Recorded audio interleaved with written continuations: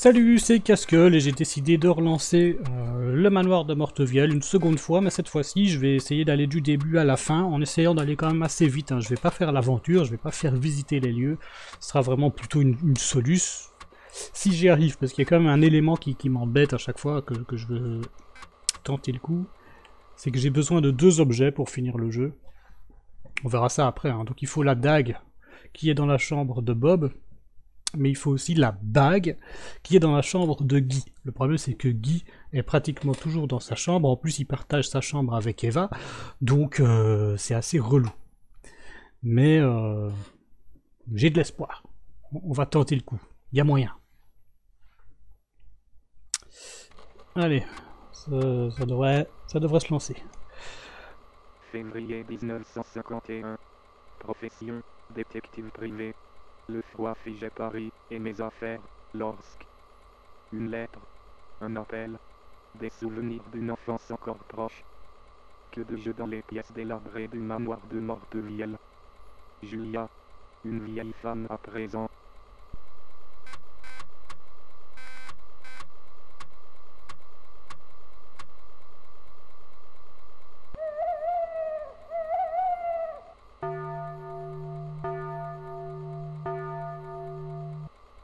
Voilà, donc on est invité par Julia à passer quelques jours dans le manoir.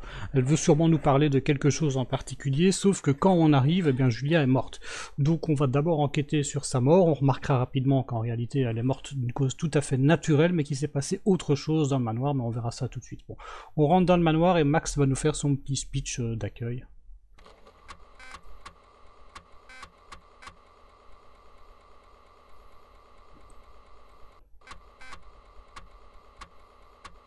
Jérôme. Il y a le temps. Quelle tristesse, Julia est morte. Sa famille est ici.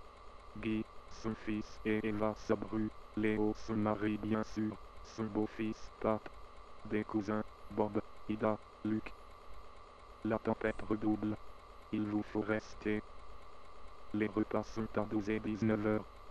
Il y a un recueillement à la chapelle à 10 heures tous les jours. Ok.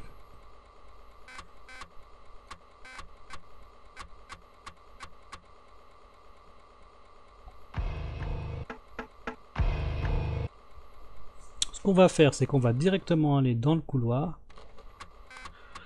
Il me semble qu'en début de partie, Bob n'est pas dans sa chambre, donc on va directement aller... Bah, on va directement y aller. C'est l'avant-dernière chambre de droite, donc on fait un choix sur écran et on vient dans cette chambre-ci.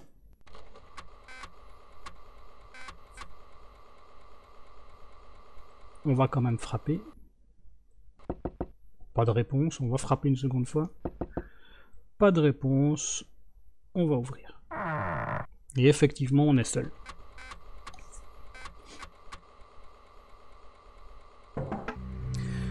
Donc dans cette chambre, on a juste besoin de, du poignard. Il se trouve dans la valise qui est au-dessus de la garde-robe. Donc on ouvre la valise, on fouille.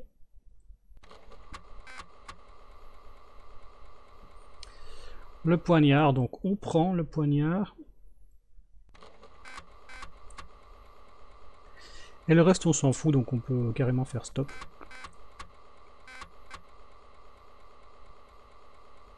On va éviter de laisser un indice de notre passage, donc on va fermer la valise. Je sais pas si c'est vraiment nécessaire, mais...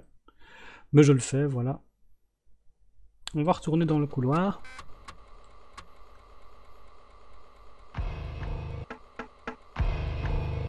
Et on va aller dans notre chambre.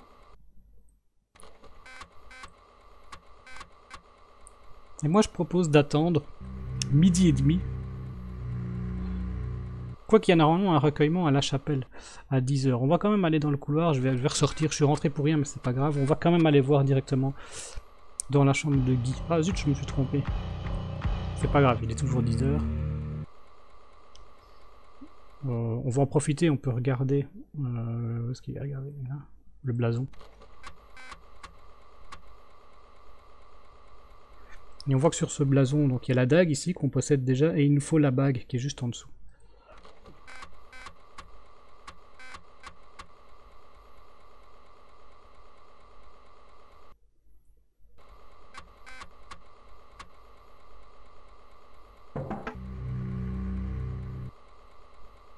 vois sur écran. Cette fois-ci, on va dans la dernière chambre du couloir de gauche.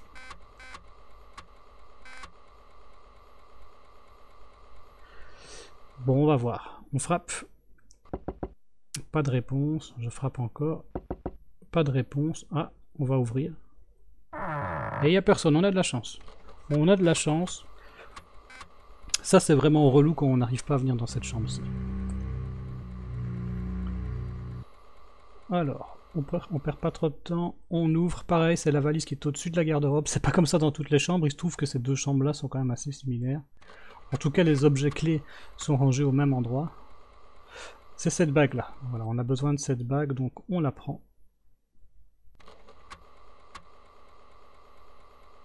Et le reste, on s'en fout. On peut stopper. À partir de là, on a tout ce qu'il faut pour aller à la fin. Ah, il y a Guy qui est là. Ce qu'on va faire, c'est qu'on va euh, fermer la valise. Et on va vite aller euh, ailleurs. On s'en fout. Hop, on disparaît. L'ambiance a l'air de rester cool, donc euh, ça va. Comme on est sympa, on va même ouvrir les rideaux. Voilà, ça sert à rien, mais... on va aller à la cave.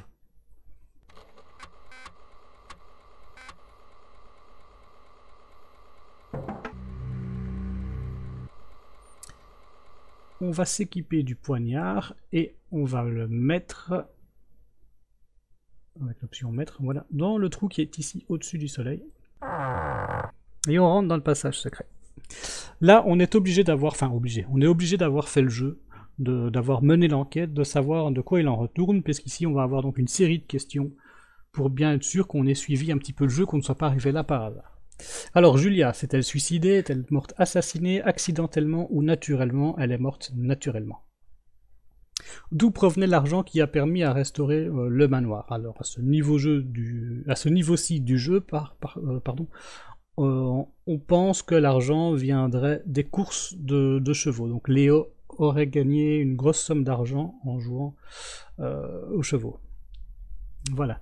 Quel est le hobby de Léo? Ce sont les recherches historiques. Julia a laissé une série d'indices, ceux-ci sont représentés sur un seul lieu, lequel? C'est dans la salle à manger, c'est le blason qu'on a regardé tout à l'heure. L'indice principal qui a servi, euh, qui a permis d'arriver à la porte du souterrain est un parchemin. Combien y a-t-il de parchemins dans le manoir? Il y en a trois. Combien de personnes sont mêlées à cette histoire? Julia y comprise, vous excepté. Normalement ici dans le manoir on est 8. Euh, ça fait 9 avec Julia, mais ça fait 10 avec Muriel. Muriel qui est la photo du grenier, si vous avez regardé l'autre vidéo sur le manoir. Il y a une photo d'un personnage, euh, enfin vous verrez après de toute façon. Voilà. Euh, quel était le prénom de cette personne inconnue? Ben, C'était Muriel, je viens de le dire. De qui Muriel était-elle la maîtresse? C'est la maîtresse de Guy. Muriel partageait une occupation avec une autre personne, qui Eh bien c'est Léo.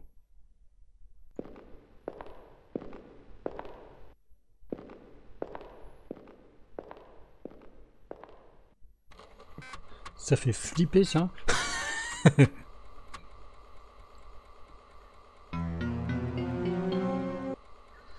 voilà, alors ici on s'équipe de la bague. On met la bague dans le trou qui est là. Et ensuite on tourne la bague. Et on entre. Angoisse. La voilà Muriel. Pour ceux qui voulaient la connaître. Alors, on peut fouiller Muriel. Et on trouve donc un petit objet en bois dont on va avoir besoin, donc on le prend. C'est fini. Il y a un coffre au trésor, mais il n'y a rien dedans. On peut le fouiller, hein, mais euh, voilà, fouiller le coffre. Rien de remarquable. Voilà, donc ce qu'on peut faire, c'est euh, sortir.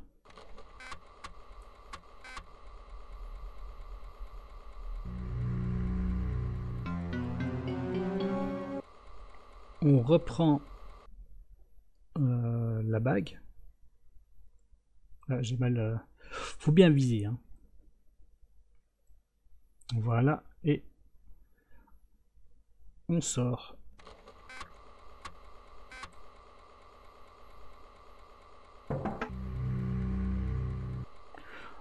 Qu'on peut faire, même si c'est pas nécessaire, c'est toujours reprendre le poignard. Et maintenant, on retourne dans le couloir. On va aller au grenier en réalité.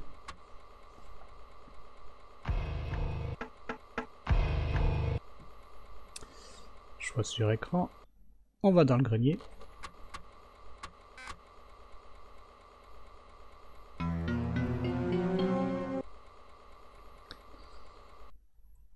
Euh, je fouille avant d'avoir ouvert. Bon. On va ouvrir le tiroir, on va fouiller un petit peu. On a besoin de cette baguette, donc on prend la baguette. Le reste, on s'en fout. Voilà, on stoppe.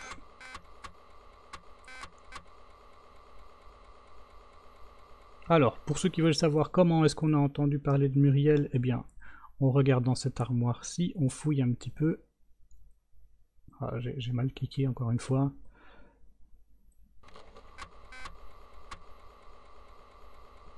Voilà. Elle avait l'air mieux là, mais enfin bon. Ça, c'est Muriel. On va prendre la photo. Et une fois qu'on a découvert cette photo, on peut interroger les gens et, leur parler de Muriel. Et on se rend compte euh, rapidement qu'elle était très proche de Guy et qu'elle travaillait avec Léo. Voilà. Stop.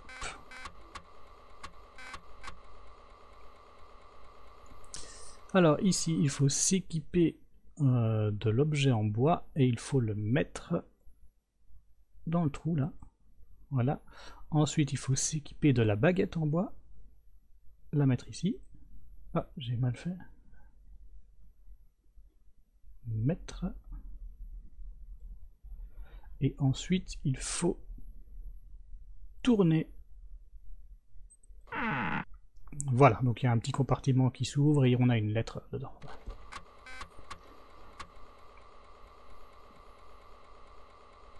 Alors, 10 janvier 1950, nous avons résolu le, mystère du manuscrit et localisé la crypte. Euh, est-ce l'idée d'aboutir dans ce qui n'était qu'un rêve euh, qui me rend si anxieuse? Donc on, sait que c'est une femme qui, qui parle ici. Hein. Je regrette de m'être engagé vis à -vis de Léo. Non, je dois continuer, j'aurais dû mettre Guy au courant, mais depuis une semaine, je n'ai aucune nouvelle. Donc apparemment, ils étaient peut-être en froid avec Guy, je ne sais pas. Vous ignorez la responsabilité exacte de Léo dans la mort de Muriel. Euh, est-elle morte sur le coup? Euh, De toute façon, les problèmes familiaux découverts lors de votre enquête justifient l'attitude de Léo. Vous n'êtes pas sûr que Julia vous ait appelé pour ça, mais c'est suffisant pour vous. Par respect pour elle, et après certaines précautions, vous avez une entrevue révélatrice avec Léo.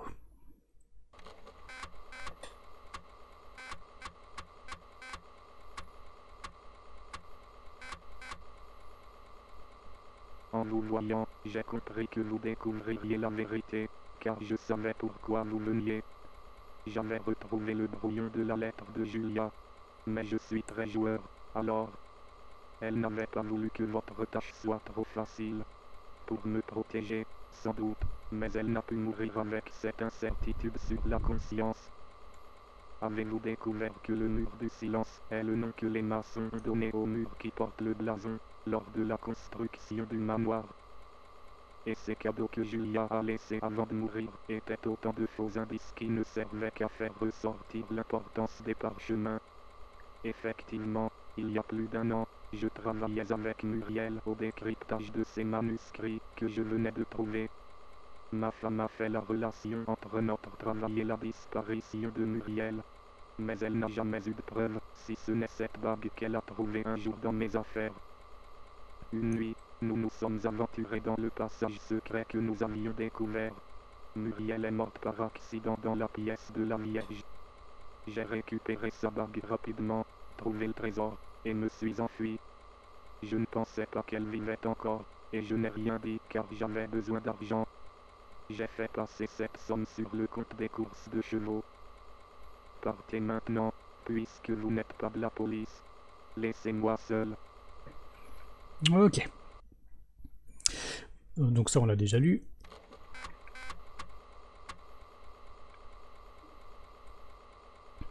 Mortevielle, le 16 février 1951. Mon cher Jérôme, suite à mon télégramme, je vous fais part de la raison euh, de mon inquiétude. Il y a un an, Muriel, madame de compagnie, disparaissait. Départ ayant rapport avec le renouveau financier du manoir. Ou silence difficile à comprendre. Surtout euh, pour mon fils Guy. N'ayant pu jusqu'à présent faire le jour sur cette affaire, je compte sur vous pour, mener, euh, la mener à bien. Si mon état de santé ne s'améliore pas, prenez les décisions qui vous sembleront les plus appropriées. Amitié, Julia de Franck. Donc on avait bien été appelé pour enquêter sur la disparition de Muriel. Et non pas sur la mort de Julia, évidemment. Ne ratez pas votre prochaine aventure parce que oui, il y a une autre aventure de Jérôme Lange, ça s'appelle Mopiti Island.